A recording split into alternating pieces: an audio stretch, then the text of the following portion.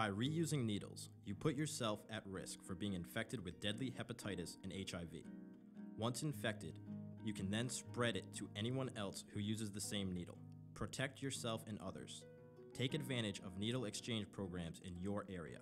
Here you can receive safe needles and learn about other simple methods to help prevent the spread of disease. Clean and inexpensive needles are also available in all Rhode Island pharmacies.